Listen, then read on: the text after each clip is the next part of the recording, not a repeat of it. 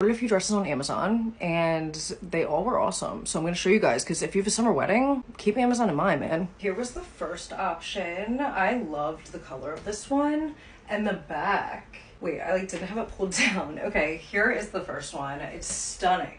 It's like a Cinderella blue and the back is gorgeous too. I have it tangled a little bit, but I loved this one. This little cowl neck, it's super comfortable. And I was like, even if I don't wear this to the wedding, which I didn't, I'm definitely keeping this in my closet for an event or something. I loved this one. My mom was like, you can't wear black, it's the summer. And I think that's a myth. Like black is a basic, not a seasonal color. Black is elegant. I did end up wearing this one to event and I got so many compliments on it. And then this one was stunning. This is actually a dupe for a more expensive one on another website, but that one sold out and this one is so much less expensive and it's really cute. The back is awesome and it's kind of giving how to lose a guy in 10 days. Full length view here. This will all be on my LTK and Amazon storefront.